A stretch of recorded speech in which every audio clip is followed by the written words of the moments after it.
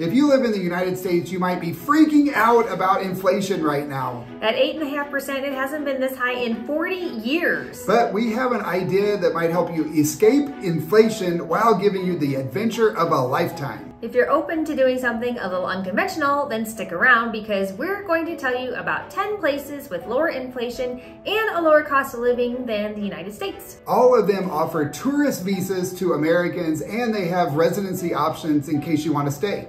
Or you can have a real adventure and just keep hopping around from place to place until things settle down with inflation back home. We are recording this in May of 2022, so things may be different by the time you watch this video. Let us know in the comments if things have changed. Each country also has its own rules for digital nomads, so if you want to work online, make sure you do your research before you book your flight. And if you are retired, you can live comfortably in all of these places on $1,650 per month, which is the average Social Security check. All right, JP, let's dive in. What is the first country on our list? All right, the first country on our list with the highest inflation is Portugal at 7.2%. Cost of living is around 1,500 to $2,500 a month on average. Of course, that depends upon your lifestyle and where you are living in Portugal. Right now, the exchange rate is $1 to 0.94 euros, which is one of the best exchange rates we've had in a long time. So if you've ever dreamed of living in Europe, now's the time, especially if you're paid in dollars. You can get a 90-day tourist visa with no problem, and there are one and two-year visa options if you want to stay even longer. People love Portugal because it is really affordable and it's one of the safest countries in Europe. Yes, and Portugal is known for its incredible culture, its delicious wine and food, and the nature is amazing. You have the mountains and the beautiful beaches. Portugal is also known for its good healthcare and it is popular with expats. Some drawbacks of Portugal are that utilities, cars, appliances, and pretty much all big ticket items are more expensive. And also the weather in the winter can be kind of cruddy. It can be cold and windy and rainy. And you also need to learn Portuguese. Number nine on our list is Italy with a current inflation rate of 6%. Cost of living is a little bit more than Portugal, but pretty similar, around 1,500 to $2,500 per month. And they're on the euro as well. You can get a 90-day tourist visa and they do have permanent visas if you want to stay longer. Some of the best parts about living in Italy is it's Italy. What else, what else do we need to say? You've got Rome, Venice, the leaning tower of Pisa, You've got the Italian Alps. You've got beautiful Mediterranean beaches. There is incredible history and culture and shopping and food and wine. And you can go into one of those little uh, country towns and buy a super cheap house. Yeah, they have those $1 houses for sale. There's a lot of uh, stipulations that go along with that. That would be so cool to buy a dollar house and then renovate it. Yes, it would. We could do our own movie. Isn't there a movie about that? Uh, there should be if there's not. All right, there are some drawbacks though, like it can be very hot in the summer and very cold in the winter, especially depending on what area you're living in. Utilities and gas are more expensive and the housing can be tricky. We have some friends that have recently moved to Italy and they've been having some issues finding the right place to rent. So you definitely need to have your patience. Yep, and you will want to learn Italian. Number eight is the US territory of Puerto Rico, which surprisingly has an inflation rate of only 5.1%. Cost of living in Puerto Rico is between 1500 and 3000 a month, again, depending on how well you want to live.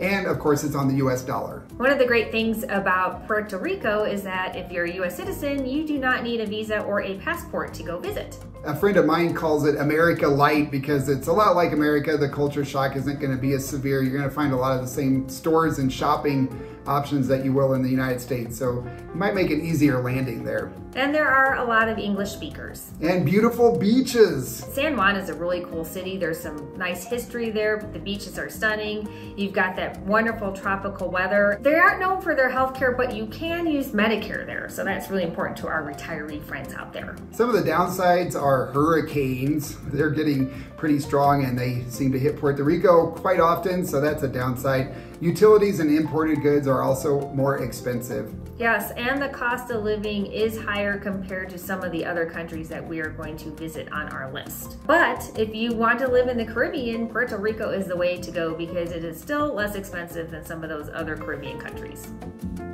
Number seven is France at 4.8% inflation. The cost of living here is definitely going to vary anywhere from $1,500 up to at least $3,000 a month, maybe even more. If you want to live in Paris, it's going to be more expensive than if you want to live in a rural area, but it can be very affordable. And they are also on the euro, so same exchange rate as Italy and Portugal. They also have a 90-day tourist visa and they do have residency visas available. Yep, so you can fulfill your shopping dream and go live in Paris, which sounds very romantic to me. it sure does. There is so much to experience in France. The shopping, the couture, the history, the art. When I think of France, I think of all of the different type of art that you can experience. The wine, the food, the street side cafes, I could just go on and on. And you have Versailles, you have the Louvre, you have the French Alps, the French Riviera. You can go stay on the beach in the Mediterranean or in the Atlantic. I mean, it is just incredible a country to visit. Some of those places are quite expensive. However, as we mentioned, you can find some very affordable places. And we have friends of ours that biked all throughout France and they absolutely loved it. And they said the people were wonderful. But they did say that you do need to learn some French. You also cannot apply for a permanent residency visa while you're in France on a tourist visa. So something to consider if you fall in love and you decide you want to stay, you actually have to leave first so that you can come back. Number six is Thailand at 4.65% inflation. Cost of living again is around 1500 to 3000 a month depending on your lifestyle. In general, you can live in Thailand for a third of the cost of the United States. And right now the exchange rate is $1 to 34 Thai bahts so that is a pretty favorable exchange rate. When you go to Thailand, you can actually get a 60 day tourist visa and you can extend that. They do also have permanent visas available as well. Some of the great things about Thailand are the number of English speakers. Almost a third of the population speaks some English. And there is an incredible rich culture and history in Thailand. And of course, everybody knows Thai food, one of our favorites. Thailand is very famous for its food. And it's really popular with expats. So you're going to find a lot of people from all over the world, especially Europe, who live in Thailand. One of the downsides is that it can take a long time to get there and airfare can be expensive, but you're gonna make up that cost when you stay there for your 60 days or more. Because the longer you stay in these low cost of living countries, the more money you will save and especially benefit from the lower inflation rate and the favorable exchange rate. But get ready for some hot temperatures and get ready for some culture shock. You're also gonna have to watch out for what we call gringo pricing here in Ecuador and in Latin America, but there it's called farang pricing. Yeah, so they have some different prices for the locals compared to the foreigners. So make sure you find out how much stuff costs up front. Number five is Belize at 4.5% inflation. Cost of living is similar, $1,500 to $2,500 a month. It should be a little bit cheaper than Europe. And the currency is called the Belize dollar and it's pegged to the US dollar at two to one. So two Belize dollars is equal to one US dollar. Tourists get a 30 day visa, which you can extend every 30 days, but you do have to go into the government office and get your passport stamped. And you could also stay for even longer and get a permanent residency visa. One of the best things about Belize is that English is the main language and only about 400,000 people live in the country, so it's not overly populated. Belize has a very laid back vibe to it, which may be a pro or a con. It has mild temps year round with 80s in the summer and 70s in the winter. You have two seasons, the wet season and the dry season, and the dry season is November through May one of the really nice things is it's only a two hour flight to the United States. And in this little country, you have both the beach and the jungle, so you can have a lot of incredible outdoor adventures. Some of the drawbacks are that the cost of living is higher than some of the other countries we're gonna talk about in South America. And healthcare is lacking compared to many other countries on our list. Many expats keep their Medicare and they have emergency insurance in case they need to make a trip back to the US for something major. Healthcare, however, is very affordable. It can be muggy and buggy, and there's always a risk for a tropical storm or hurricane. And if you're looking for a modern urban lifestyle, it's probably not the best place for you. Number four is one of the most popular places for expats. It is Panama with an inflation rate of 3.65%. The cost of living is anywhere between 1500 and 3000 a month, once again, depending on your lifestyle and where you choose to settle or visit Panama. The Panamanian Balboa is the currency and it's pegged to the dollar at a one to one ratio. Yes, and you can also spend your US dollars there as well. They take both, which is really convenient. Yep, you can get a six month tourist visa, which is one of the other things that makes Panama so enticing. And they now have a digital nomad visa that allows you to stay in the country for nine months. And they do have other types of permanent residency visas available. Some of the best parts about living in Panama is that you can live in the mountains or at the beach or rural countryside or in a major city. Yep, Panama has really got it all going on. They have really good health care, it's nice and close to the United States, and it is safe. And most businesses take credit cards. You're gonna find that is not as common in some of the other places that we're gonna talk about. And also Uber is available in Panama City. Spanish is the official language in Panama though, so you're still gonna need to learn some Espanol, especially if you wanna live outside of a major city. The income requirements and investment requirements are quite a bit higher for the permanent visas though. Rent is also higher in some of the very popular cities such as Panama City and Coronado. So if you wanna live a more modern lifestyle, you are going to need to spend more money. Yeah, but you can also live in Boquete, which is really popular with expats and it's a lot more affordable. However, Panama can be muggy and buggy like Belize. It is a tropical area. There are two seasons, the wet season and the dry season. And the dry season is December through April. Number three is our personal favorite because we've lived here for five years, and that is Ecuador with an inflation rate of 2.89%. Ecuador is so affordable. You can live here very comfortably on $1,500 a month and up. You have to work very hard to spend more than $3,000 a month on your cost of living. Ecuador is on the US dollar. It's the exact same currency as the United States. So if you get paid in the United States from your job or your social security, those dollars go a lot further in Ecuador. You can come to Ecuador on a 90 day visa and you are able to extend that for another 90 days. However, you can only do that once every five years. But Ecuador has so many different temporary to permanent residency visa options available. So you will find something that will work. And they have a new digital nomad visa that's really appealing. The country is so incredibly diverse. You can drive 30 minutes in any direction and be in a completely different microclimate. You've got the mountains, you've got the beaches, the Amazon, and Galapagos. Ecuador has it all going on. The people here are awesome. They're welcoming to expats. They really like having us here. For the most part, Ecuador is safe especially in the popular expat areas like Cuenca and Loja, Cotacachi, other parts of Ecuador are very safe. And they have great food that's locally grown. We love our produce. Our fruits and vegetables here are incredible. Yes, and they are so affordable. Your money goes so much farther now, some of the downsides is that not a lot of English speakers are in Ecuador other than the expats.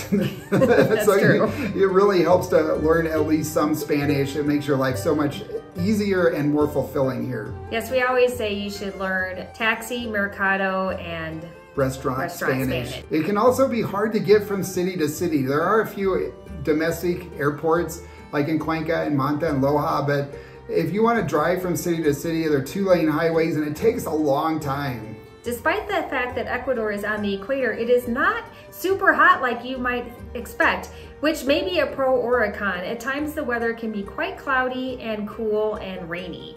We have a lot of videos about Ecuador, so hit that subscribe button and everybody who does, Daisy gets a treat. Yeah, Daisy might get a lot of treats because how can you possibly say no to her sweet little face and her wiggle? Number two is Malaysia, coming in at 2.2% inflation.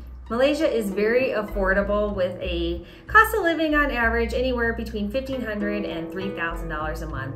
You can live, definitely live the high life at $3,000 a month. Right now, the exchange rate is about $1 to four and a half Malaysian ringgits.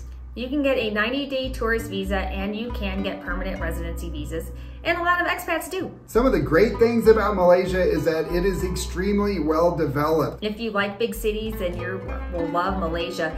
Also, if you like incredible history and culture, There's also high quality healthcare. Some of the best healthcare in the world is in Malaysia. And a lot of people speak English. Malaysia is known for its beautiful scenery, the nature is stunning, and the food is incredible. Some of the drawbacks with Malaysia is that right now, with airfare, it can be very expensive to get there and it can be hot. They also get monsoons and flash flooding. And there's a lot of population, so you have bad traffic and you're gonna have culture shock. It is a lot different than the United States. And number one on our list is Bolivia with the lowest inflation rate of 0.9%. This also has the lowest cost of living of any of the countries we've discussed so far. You can live there comfortably on one to $2,000 per month. Right now, the exchange rate is one US dollar to 6.88 Bolivianos, and you can get a 90 day tourist visa. The tourist visa, you get 30 days at a time, so you do have to renew once you're there.